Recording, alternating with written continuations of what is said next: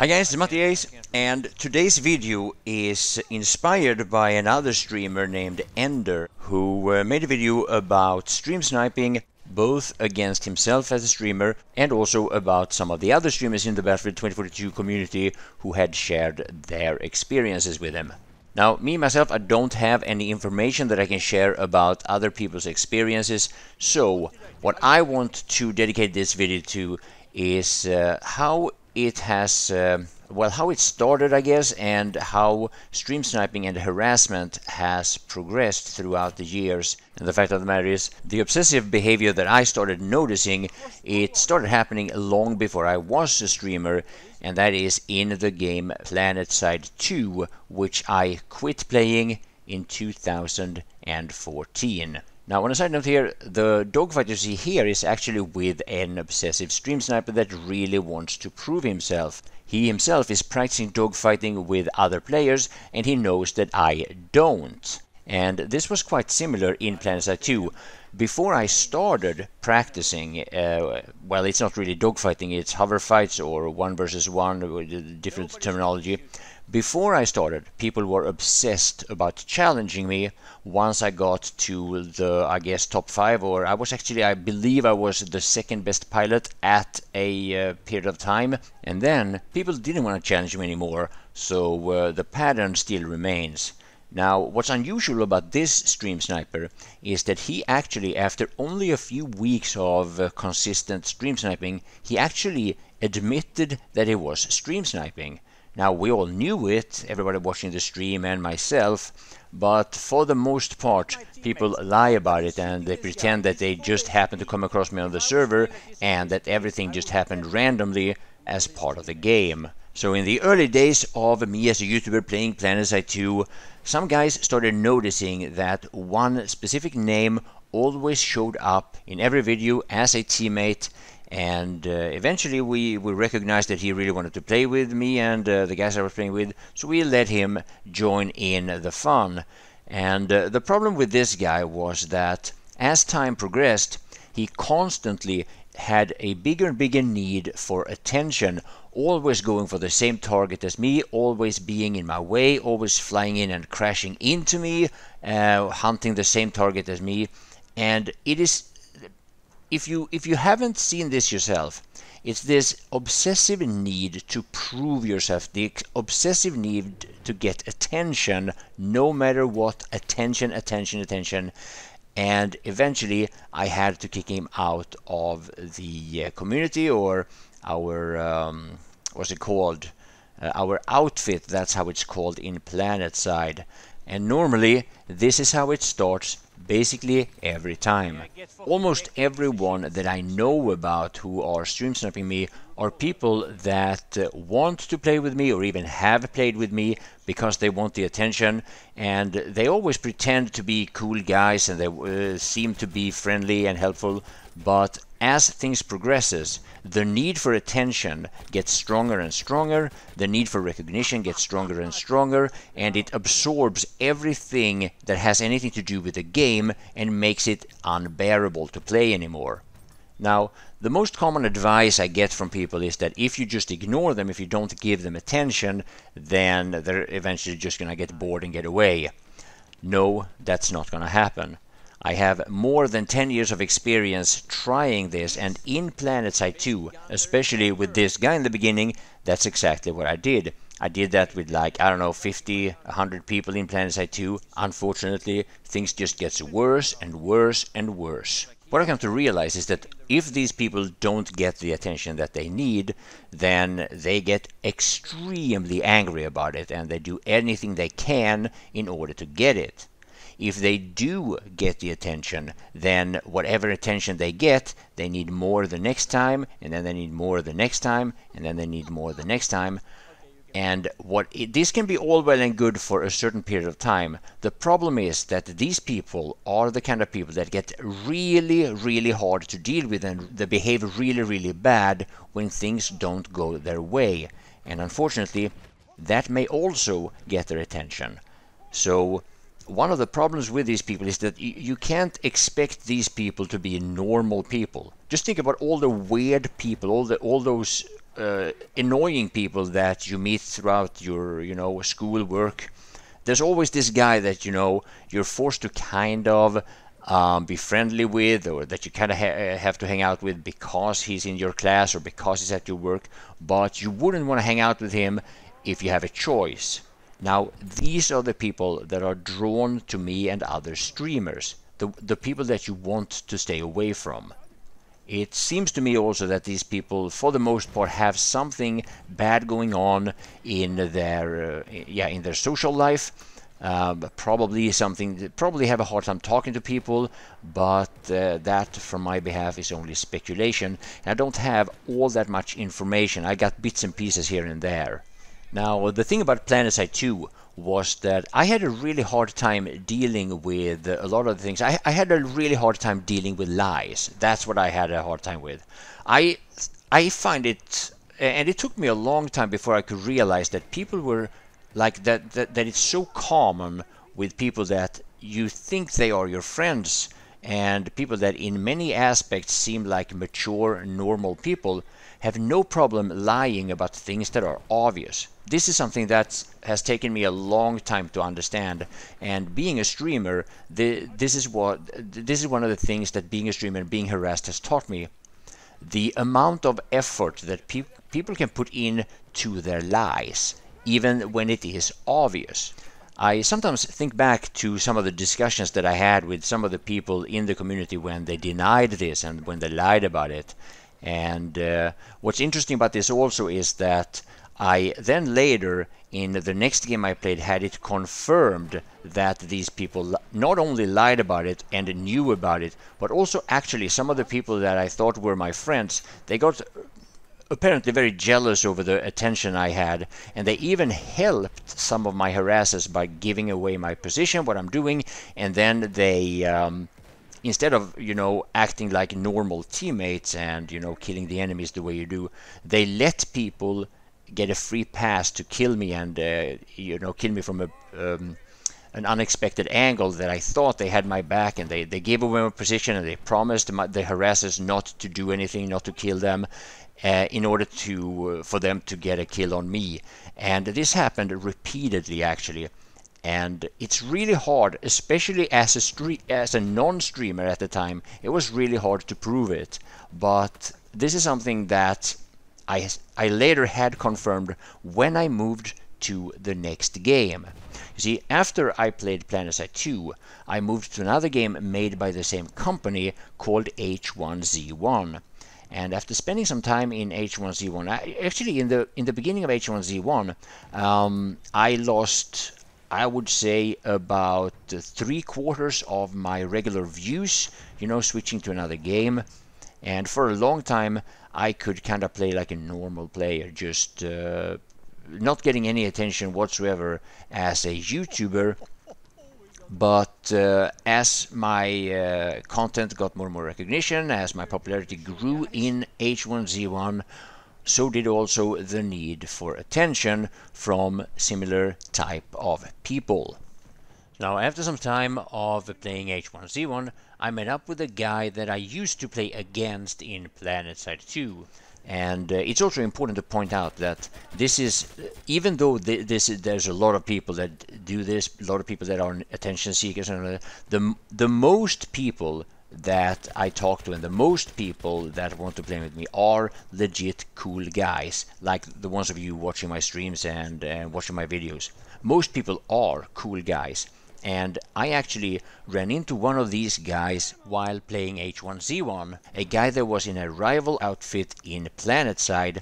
And we started playing together, we had a lot of fun together, and we talked about this and that. And eventually, after some time, we got into PlanetSide 2. We talked about PlanetSide 2, and at that time, all the drama that uh, had occurred in PlanetSide 2 was kind of like water under the bridge, and it was never actually bad with this particular guy, even though it was pretty bad with some of his uh, clan mates or outfit mates or whatever you want to call it.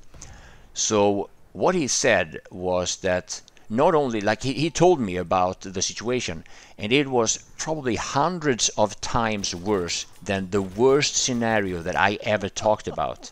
I mean, there was hundreds, maybe thousands of people simultaneously looking for me, arranging and coordinating their hunt for me.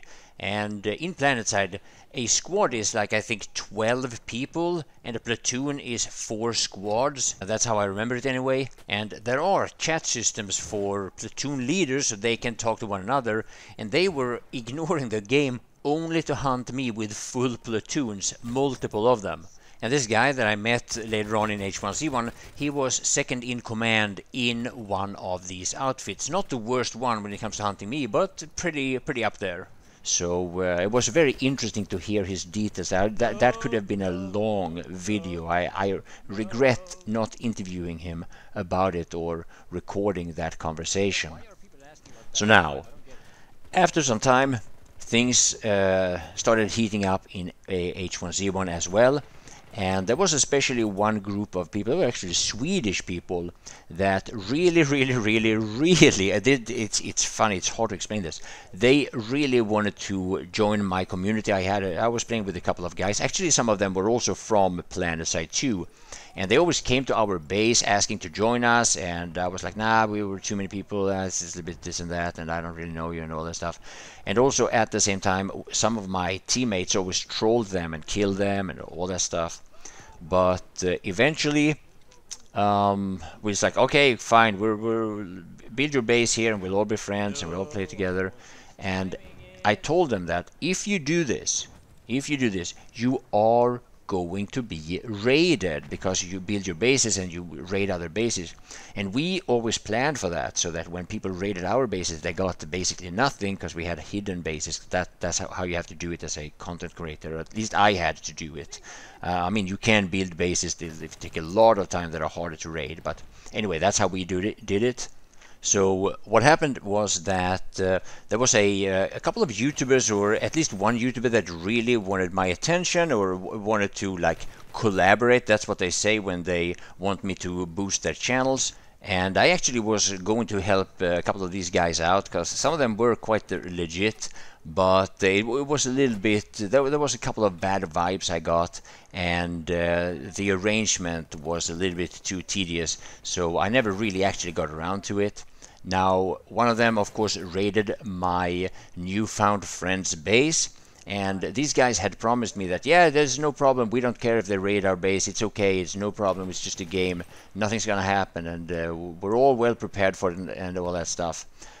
And of course, when they got raided, they got absolutely furious about it. They they went, they started attacking uh, one of my friends completely out of nowhere. They they knocked on the door, and when he opened the door, the door he just sh uh, shot them, stuff like that. They, they behaved like completely. It was it was unreal. And what also um, was found is that when they raided this base, and I, I had never actually been in that base, which was a big mistake on my behalf, but um, the guy that raided their base and made a video about it, he also found that they had made a bit of a like a swastika with uh, some yeah, they, they, it's a little bit vague if that was actually what it was or whatever. But what's important to point out is that what um, happened with that was that everybody accused me about it. Whether whether that was a swastika or not, whether they did it on purpose or not, that was completely irrelevant the only focus on Reddit, on YouTube, everywhere, every forum, all this stuff, was that Matti plays with Nazis. Matti this, Matti that. I've never even been there. They joined me. They we tried to get rid of them, and eventually we said yes. And then when they make this kind of behavior, of course everybody blames me. And it was it, and this is something that started in actually it did start in PlanetSide when some people misbehaved and they kind of try to find a way to uh, put the blame on me, but uh, it was something that escalated tremendously in H1Z1, where uh, I actually ended up playing with people that was using cheats, uh, they were exploiting, and every time somebody was caught doing that, uh, there was these massive big forum threads and videos about me playing with cheaters, me playing with exploiters, me doing this and that and this. And I didn't even know that at the time that it was happening. And of course, I had to uh, ban and kick these people out. And then, of course, I had them against me as well. You see the pattern here? Now, H1Z1 was kind of different compared to PlanetSide and Battlefield. Battlefield and PlanetSide always have these people that have this massive need to prove themselves whether they are in my team or playing against me. This wasn't that obvious in H1Z1, but in H1Z1 I had much more problems with cheating and exploiters and all that stuff. And it was also in H1Z1 where I started streaming, and that kind of changed things to uh, a situation where it was more obvious that the harass that like the harassment became more consistent or more common. Uh, it wasn't worse. It was just it, it just started happening more and more because it was obviously easier to find me when I was streaming. Now, the biggest problem with people that wants to prove themselves if they are my teammates are the fact that they want to make um, they make a big deal about uh, the statistics, uh, kill and death ratio, kills per minute, and all that stuff.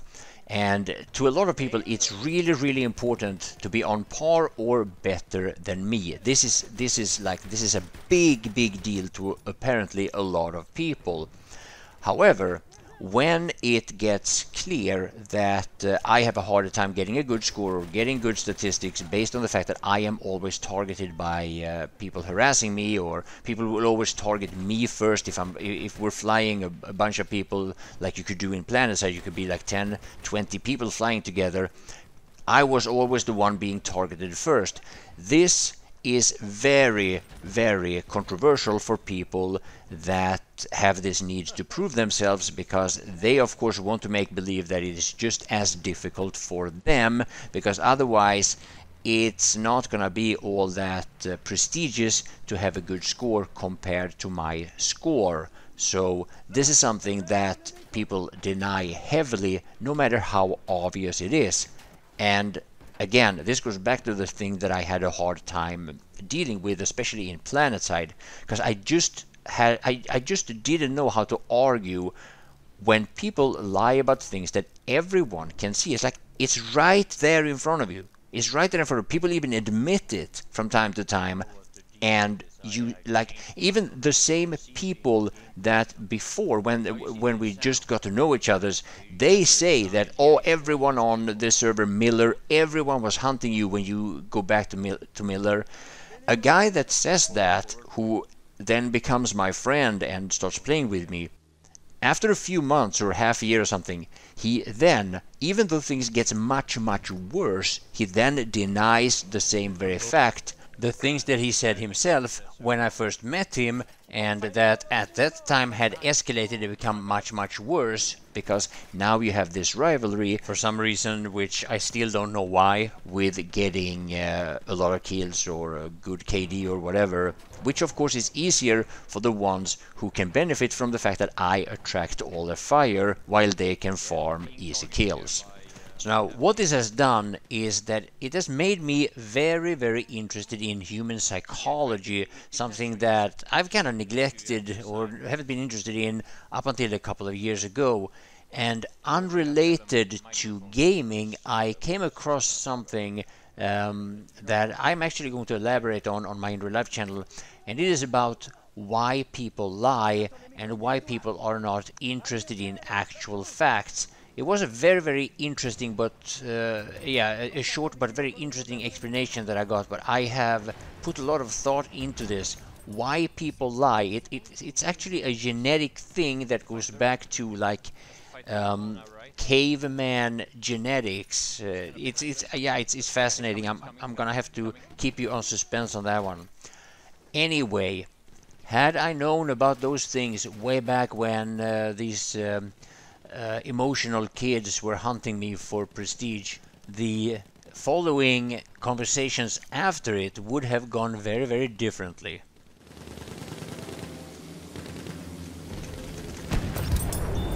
Nice. Oh, thank you.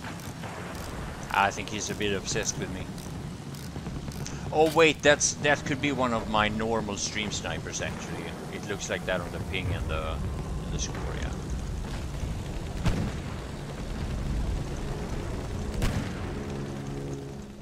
So now, what I want to point out here is that I'm not trying to make it seem like my situation is worse than it is for these other streamers in the in the video that uh, I referred to in the beginning. Um, I don't know. One of the things that is really, really difficult to uh, compare here is the proportions of how much it happens and how bad it really is. But there are some things that I heard about from Ender that is worse for for a few guys than it is for me when it comes to how it uh, uh, escalates over into real life because uh, I, have had some um, uh, death threats. I really have. People that have spammed my my home address in the chat they found it out and they they gave me some death threats and all that stuff. Um, but it never really got uh, past that so far anyway. However um, what I didn't see that other streamers have done, like I'm always hiding my identity. I always keep changing my uh, my in-game uh, identity all the time because I know that people will obsess over me if they recognize me, not only stream sniping or targeting me on purpose, but if they would recognize me on the server, they would go for me. So changing names like three times a week or something, it, that's what I do to minimize it. Um, I'm surprised that people that get hunted as much as they do don't do that, but it, um, I mean, obviously it doesn't work against dedicated stream snipers, but it does work to some degree against people that just uh, uh, once the, the game gets a little bit smaller, like in uh, Battlefield 1 now, when the game is so old, um, everybody kind of recognizes everybody, or more or less uh, among uh, the more hardcore or dedicated people. So it gets for me, hiding my identity, it minimizes it a little bit. Not not the purpose, uh, not the stream sniping or the, the, the purpose harassment, but uh, the things aside from that. So now, this video could be like several hours long. I just don't have the energy to dig up all the memories here. Some of this goes back a long time. And even if I was only focusing on what's happened in the battlefield, um, yeah, that would still be a very, very long video. Now, for the ones of you that are relatively new to this aspect of, uh, of my content and me as a gamer, streamer and so on, you might be wondering why are they doing this? Well, the, the obvious purpose seems to be to harass me to the point where I quit streaming, which uh, ironically has had the very opposite effect, at least the very recent um, few months, because uh, my, uh, my viewers on the stream has gone up quite significantly, especially at the, the night streams, where I used to have like less than half of my afternoon streams, or evening streams I should say. It's also, of course, they've, they've tried to attack me financially, to make sure that I get, uh, or th that they escalate the problems with uh, demonetization and stuff. Luckily, some of you guys have recognized this and uh, been uh, uh, very, very generous with your donations uh, and um, without that it's very possible that I actually would have had to end streaming but there are like I would say like 30 maybe 40 of you guys that have consistently supported me in a way that has made my streams uh, stay up alive and consistent. So big massive thanks to all of you for your generosity and your support so yes, the stream that I'm talking about, and I've been talking about throughout the whole video, uh, that one happens more or less daily on my main YouTube channel. Yes, this is my secondary YouTube channel, and I also have an in real life channel where I've started to try to get more and more active, especially with shorts, the you know the TikTok version or the TikTok copy of uh, of YouTube where yeah, it's kind of funny. Uh, TikTok copied YouTube, and then YouTube copies TikTok back with uh, its uh, phone success. Yeah, it, it's funny how that goes, but that's on my in real life channel. So uh, I hope you will follow me, and subscribe to me on my other two channels, obviously. And uh, yeah, big thanks for watching. Thanks for your support, and don't forget to comment in the comment section because otherwise you might not get notifications even if you have the notification bell on so that is apparently a thing also you need to interact with uh, some of us YouTubers because otherwise YouTube's uh, algorithms will randomly just happen to not show you when I go live or when I upload another video. So, I guess that's gonna have to be it for now. Big thanks for watching my friends. Bye for now.